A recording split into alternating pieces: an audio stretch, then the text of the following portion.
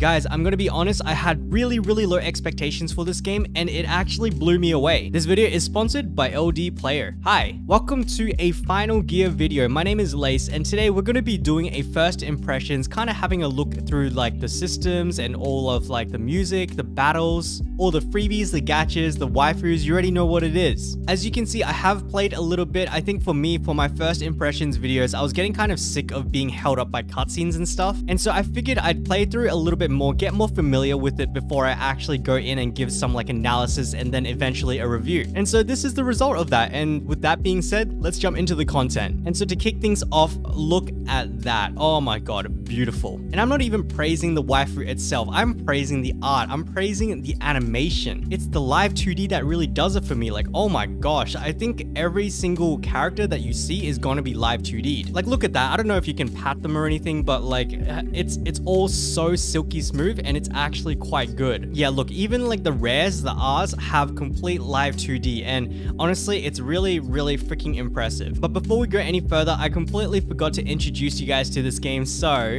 let's take it back a step. Final Gear is kind of like a run and gun, so if I show you guys over here the mechas, essentially you've got a team of four characters and you're piling a bunch of Gundams and then you're going around like killing monsters. That, uh, I think that's actually a pretty accurate summary. All right, and so as you can see, we have a bunch of pilots over here and then we assign them, oh my gosh, that is, that is so freaking cool. We assign them into like these mechas and essentially what you can do is you can customize each of their equipment parts. So for example, this top one over here is its weapon and then we get into like its cockpit. So as you can see over here, we've got a bunch of different equips. And then obviously each equipment is responsible for different stats. So for example, the cockpit for its health and evasion, which makes a lot of sense. And then if we go back to the weapon, it's going to be for attack. And then if we like look at the shoes, I don't know if those are really shoes, but yeah, you guys get the point. And then there are a whole different bunch of archetypes. We've got like also like different uh, skills and stuff. And so yeah, that's kind of like the general premise of it. We've got a team of four. Uh, so as you can see, I can cycle through them here. We've got pilots for all of them. And then all of them are going to pilot their individual mecha. Okay. And so with that being said, let me show you guys an actual battle. So this is,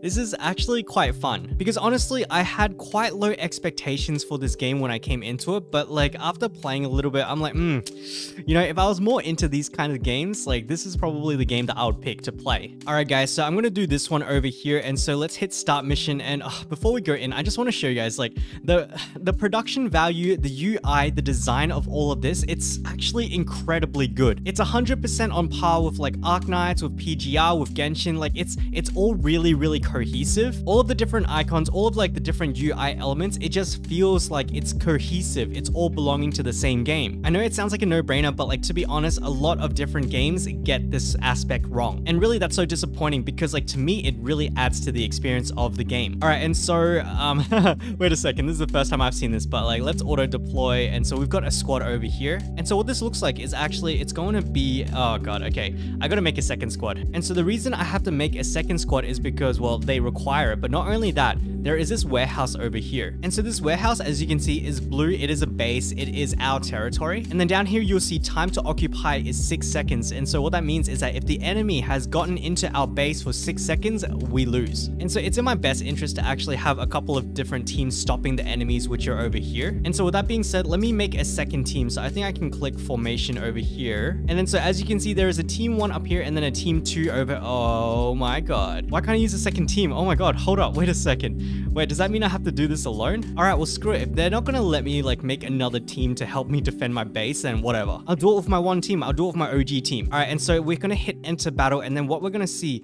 is a whole bunch of these guys coming at our base. And so what I have to do is I essentially have to clear all of them. So I'm to meet this guy over here and then I'm to smack him down. All right, and so we are actually in a stage. And as you can see, uh, it's really freaking hectic. So there's a whole bunch of stuff going on. As you can see, there are four characters from my team. And right now I'm on auto mode. So let me switch off auto mode. So I am controlling this unit over here. And so what I can do is I can fire on, okay, I'm not firing, but I can stab onto the left or I can stab onto the right. So like ching, ching, shing, shing, shing. Look at that. Look at that. Shing, shing, shing. I'm just freaking chopping them up, you know, my dudes. And so I think it's best played with L and K which is just left and right stab. And so what you can also do is actually switch between the characters like this. So I'm going to switch to uh, this girl over here, I think, which is, uh, a chainsaw using chick. Hold up. Where is my gunner people? What the frick? Let me try use another one. Okay, this one is a little bit creepy. Uh, and I guess I'll show you what it looks like in the next battle. And so that is the ending screen. We've got a whole bunch of damage statistics here, which is nice, but it's very rudimentary, nothing to write home about. And so let's move on. But yeah, this is the combat in a nutshell. So as you can see over here, we've got the HP with the green bars, and then we've got the blue bar signifying the ult charging. And so obviously, if I get my blue bar to full, I can use my ult. So actually, if I switch to another character like this one, I can use the ult. I'm just to click that. And so yeah, this one's a little bit creepy. Uh, as you can see, there's a lot of hands coming out of that uh, that portal over there. Uh, let me try another one. Uh, this one over here. I actually don't know what she's doing, but uh, how, how about this one over here? What is she doing? Okay, I think she's to bombard them. The frick? But yeah, guys, that's essentially the combat system in a nutshell. It's actually pretty fun. And I know a lot of you are going to ask, yes, there is an auto mode, so there was an auto button up there. So, all right, so here is where you can actually appraise some of the different enemies. And so what's important is that you can see that there are different archetypes, right? The bomber, defender, demolisher. And so clearly I've unequipped my shooters, so I can't show you my gun girls. But the reason that I'm showing you this, guys, is because there is like some level of tactics. It's not kind of like unga bunga. It's exactly like your element system, like your type advantages, your fire beats grass, which beats uh, electric or something. But yeah, that's combat in a nutshell. Hopefully you guys like understand what really it entails. And so yeah, that's, that's pretty much it for the combat. And so with that, let's move on to the next systems. Okay guys, so let's take a quick break for a word from our sponsor. LD Player is a powerful modern emulator that supports all of your mobile gaming and app needs. It's got features like sync operations, high frame rate mode, yes, that is 120 FPS. We've got 64-bit support, multi-instancing, macros, you name it. For me personally, I use LD Player to play other games like Punishing Gray Raven and Revived Witch, as you can see over here. And so if you would like to try this bad boy out, and as well as the game actually, head on down to the pinned comment or the description and go ahead and click that link. Otherwise, thank you to LD Player for sponsoring this video, and with that, let's get back to it. Alright guys, so we are back in the hangar. I want to walk you through a whole bunch of different things because there is quite a lot going on here. Up here, we've got our different currencies. So we've got the premium currency crystals, and then we've got the gold, which you use for everything. As for the crystals, there is the paid versus free. And so I think this is already like, it shows you their intent, right? There are a lot of packs that consume paid crystals only. And so I think that's very, very similar to a lot of the different gachas out there right now. I'm personally not a massive fan of it, but like it is what it is. Some people are going to argue that that's what they have to do to make money. And so guys, what you're looking at here is special novice recruitment, aka it is an infinite reroll. Novice recruit times 10 contains one of these SSR pilots and has unlimited entries until the SSR pilot is selected. And so let's give it a shot, my boys. All right. Okay. That's a, that's a lot of, oh my God. Okay. oh dear. Oh dear. Something uh, caught my tongue. You know what I'm saying? Anyway, guys, look at that. The art is like, it's so freaking, oh, holy crap. Yeah. Okay. I admit this is a little bit of a lewd game. It's not like blatantly lewd, like there are a couple of way worse ones. I'm talking like Destiny Child, but this is certainly one of the more lewd ones. Like of all of the gachas that I play, none of them are None of them really go like this, you know what I'm saying? Alright, so guys, I'm just gonna go ahead and skip all of these up until the end. Let's have a look at our SSR. Oh, okay, looks like I can't actually preview them. Um, that's that's really, really freaking sad. Okay, she looks interesting, but I kind of want to see some of the other ones. So let's uh, let's go roll again. Uh, bada bing, bada boom, and as you can see, we've got this eye patch girl. And so as you can see, it's pretty rigged. SSR, two SRs, and a whole bunch of Rs and Ns. One, two, three, four. Oh my gosh. Okay, it's always that chick first. But yeah, as you can see, guys, it's rigged to one SSR, two SRs, and the rest are going to be filled with Rs and Ns. I'm just going to go ahead and flip through a couple more and see like kind of what I want. Uh,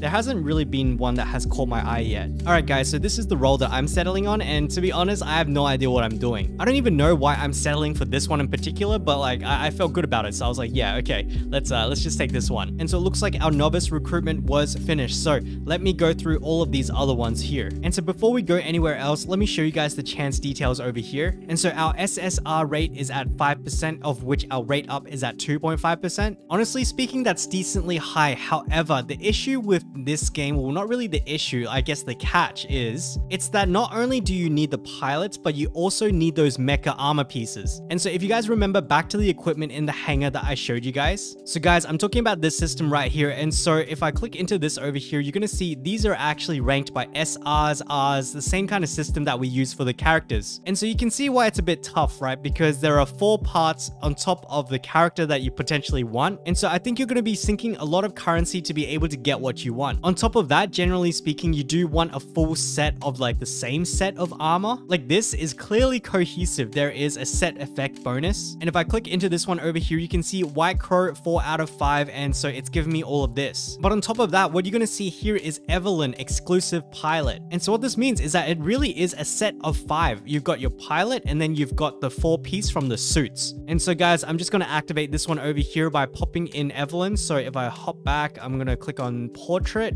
I think that one's Evelyn and then train, I mean, sorry, change. And then as you can see, there is a button down here, activate. So I'm going to click that and this is actually really freaking cool. Look at that guys, like holy moly. This is, oh my God. Okay. Just looking at this, oh, it's insane. I can't talk about this stuff enough. Like if you guys are mecha fans, which I am not, then this should be so, so hype for you guys. Like that is a, that is a freaking full blown Gundam essentially. But yeah, seeing the system at play, I think you guys can see why this is a little bit of a concern. It's going to take a lot of currency currency, it's probably going to take a lot of money to actually be able to make any of these like full sets. And so yeah, if you guys do end up picking up this game, I would be wary of like that system right there. However, there are a couple of really awesome things. So you can see over here at recruitment queue and you can see that there is a timer for these guys. And so what's happening here is it's essentially your Arknight system. I'm able to use some in-game currencies to recruit characters. And so that's honestly really freaking nice because I love these recruitment systems. Anyway, moving on, let's have a look at this special recruit. Uh,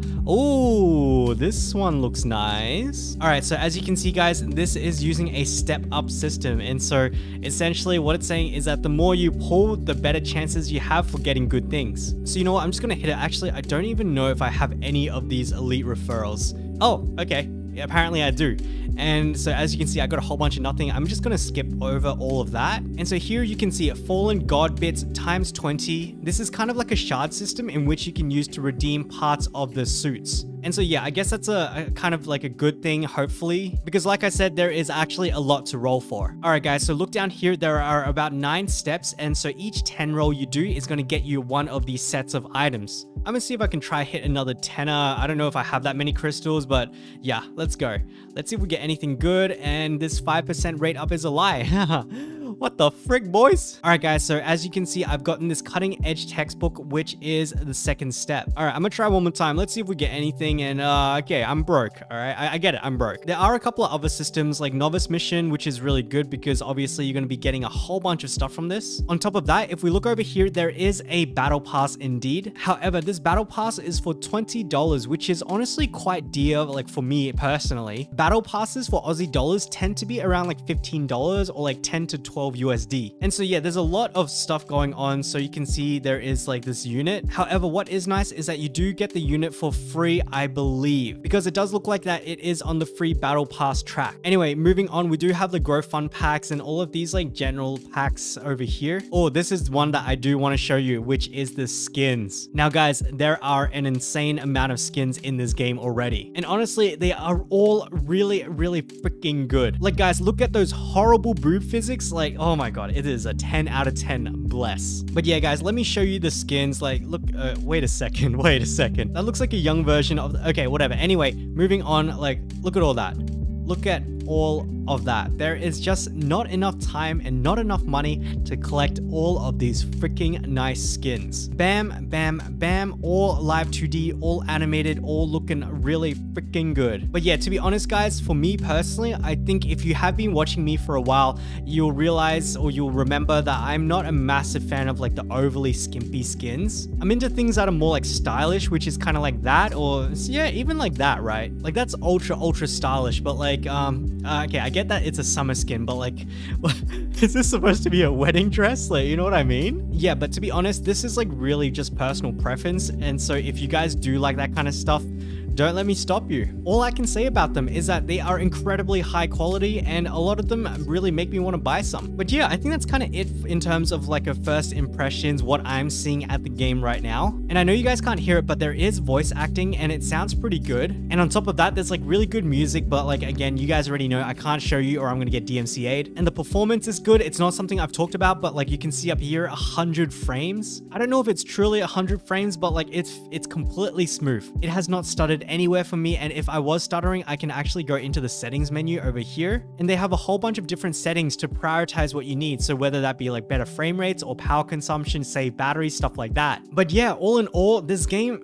this game is actually really, really freaking good. In terms of aesthetics, in terms of like characters, I don't know if there really is much characterization. The story was so-so, but the gameplay, the systems, the UI, like the general game experience itself is, it's, it's actually really, really up there. Unfortunately, I'm not familiar with the devs, but like what I did see is a whole bunch of these different giveaways. And so I see this SSR chest, you know what? I'm gonna use it and see what we get. I wonder if we're gonna get SSR pieces. Uh, Oh wow, they really are SSR pieces. And so this looks identical to the Evelyn one before. Oh my god, okay, this is this is pretty cool. That is actually pretty cool. Oh, and there's another one over here, Superior SR Pilot join rank. Okay, you know what? Let's let's get somebody. Oh my god, wait a second. Is this a selector? Holy crap. Okay, okay, hold up, hold up, hold up. So we're getting an SSR from that unlimited 10 pool that we saw before. But on top of that, it looks like we're gonna be able to select somebody as well. So let me just hit one at random, confirm.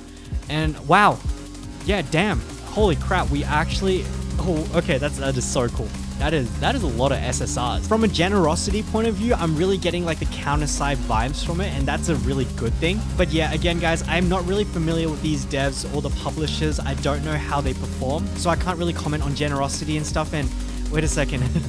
Wait, is that an engagement ring? All right, we're, we're pretty deep. Uh, we're pretty deep in this rabbit hole, huh? But yeah, guys, like overall, I feel like it's it's it's it's a really, really good game. Aside from my personal concerns in terms of like having to pull the mechs as well as the characters themselves, I think the core gameplay, like the designs and all the UIs, everything like the gameplay experience and all of that, it's it's really good. Again, the live 2D art is great. It's full of skins. We've got great music, voice acting as well. And on top of that, we've got a base system which unlocks at level 40, which I probably am not going to be able to play to. But yeah, if you guys are a fan of mechs, this is definitely a game that I would be looking at. But all in all, I think that pretty well summarizes my thoughts on this game so far. Again, guys, this is my first impressions. I have not seen an end game. This is this has really blown away my expectations. But yeah, what I want to do now is ask you guys this secret question, and that is, well, you guys going to give this one a shot? Did it look interesting? Were there a couple of things that were red flags that were making you feel like, nah, I'm just going to pass on this one? Whatever your answer may be, drop it down into the comment section below, and I would really appreciate that because it means you've watched up until the end of the video, and so thank you guys so much. But otherwise, please consider a like, a sub, a follow, and if you would like to support the channel, we have a membership thing as well as uh, some affiliate links. Guys, like this mecha is, oh my god, it's seriously so freaking cool. But guys, as Evelyn once said, who is kind of like a